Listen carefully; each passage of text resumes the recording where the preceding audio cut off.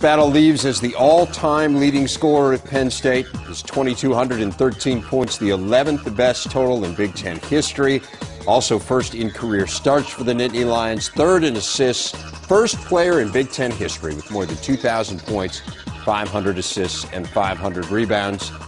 Tough way for his season, his career to come to an end, but what's your takeaway from this Penn State season? But, Dave, if you think about it, this, this crew was really made up of five players. You know, Jackson, Brooks, Jones, Frazier, and also Battle you know, nothing going away from Woodyard and Marshall, but that team kind of rallied around each other. They fought through adversity. When they had to win games, Illinois at home, Wisconsin at home, Michigan State, they won those games. When it got time for them to kind of hunker in and really focus in at the Big Ten tournament to win three games, they did that.